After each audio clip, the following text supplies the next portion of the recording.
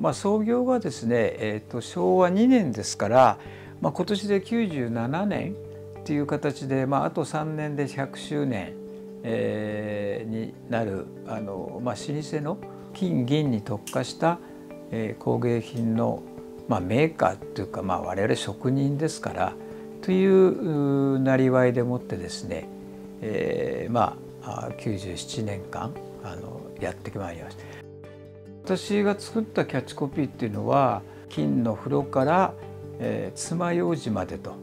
というその何でもやります的なですね要するに金銀であればあの作れないものはないっていうような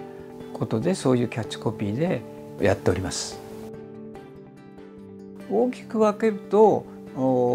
火器茶器それから酒器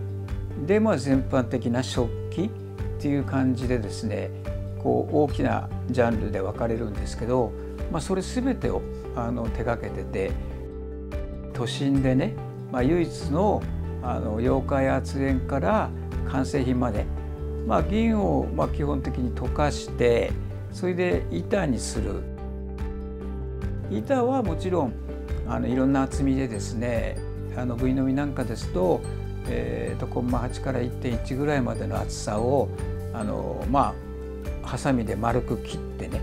でそれで当て金って言って、まあ、R がついてますからそこに沿ってね叩いていくとその形になっていくという。まあそれ手絞りって言ってるんですがあの要するに単金の一番基本的な技術で、まあ、うちの先代は単金師だったもんですからまあ、うちはその相変わらずその単金を得意としてる会社なんですけど丁寧に作るっていう形でねその皆さん、ね、高いお金払っていただいてるんですからそれそれだけの付加価値はつけててあの提案するようにはしてます。でまあ真珠の衣、まあ、我々玉杯あの玉の葉杯私も10年以上前からぐいのみはその玉杯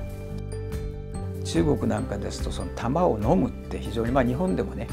えー、で玉っていうのは中国では皇帝日本では天皇のことを玉っていう感じで玉座ですとかね